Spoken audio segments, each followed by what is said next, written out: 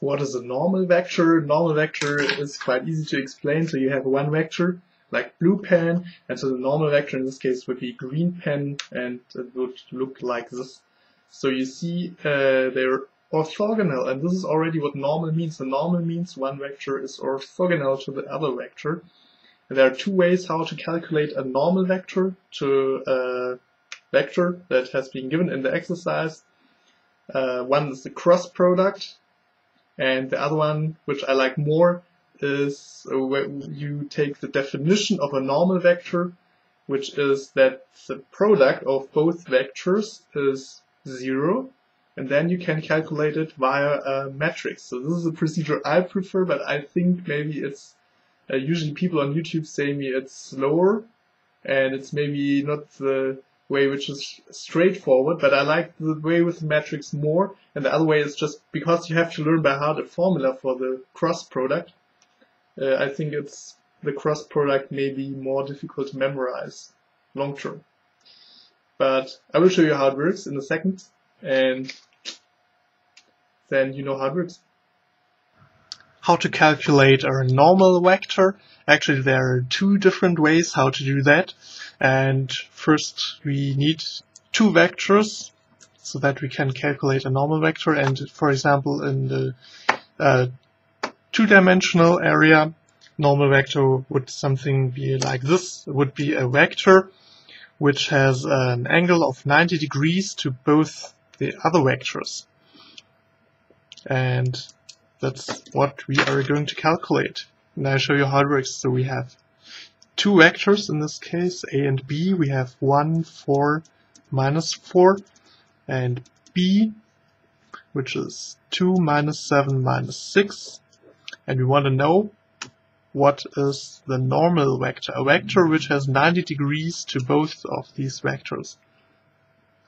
So that by definition, uh, it is called n, the normal vector, and when we multiply the normal vector with a and with b, you'll see in a second, then it should uh, result in zero. That's the definition. And so it means we have an angle between n and a of 90 degrees and again between n and b also 90 degrees. And there are two ways how to do it. We could just the, the first way, which I'm not going to calculate, is cross product. And the result will be sort of, well, let's call it m, but it will be also a normal vector.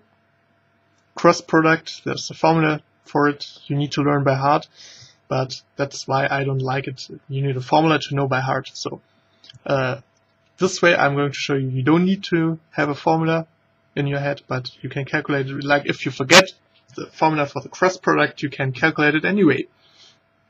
And it works the following. Uh, by definition, so you, if you multiply, you receive zero, so you do it component wise.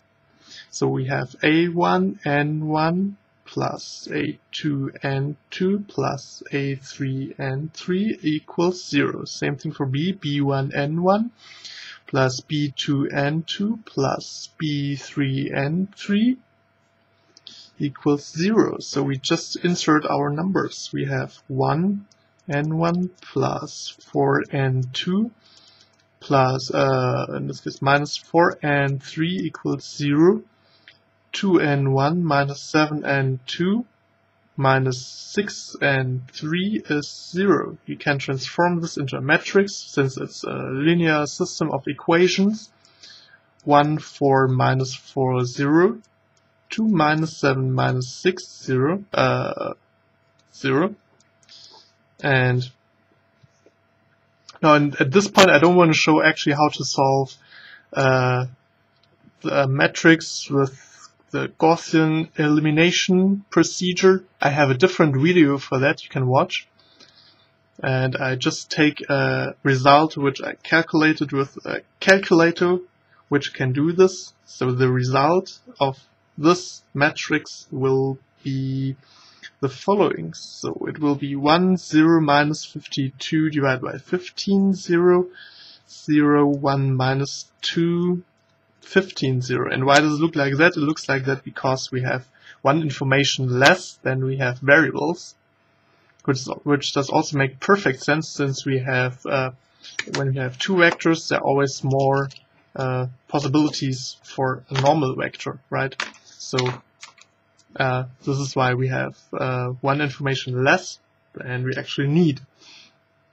And then we can uh, insert a parameter. We can say uh, n3 is t, then n2 is, we take this to the right side, is plus 2 divided by 15t, and the same way n1 is 52 divided by 15t.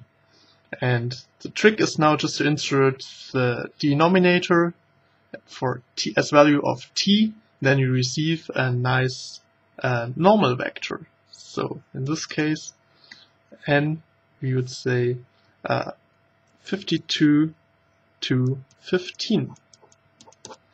This is how it works with a method where you don't need the cross product, but I would say it depends on what you like more. Actually, I always use this procedure and it well works.